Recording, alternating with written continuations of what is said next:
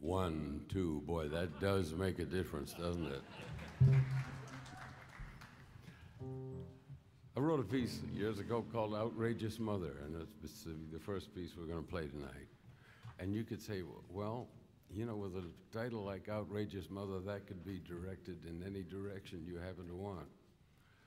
However, the original was my own mother, who, uh, her Yankee self,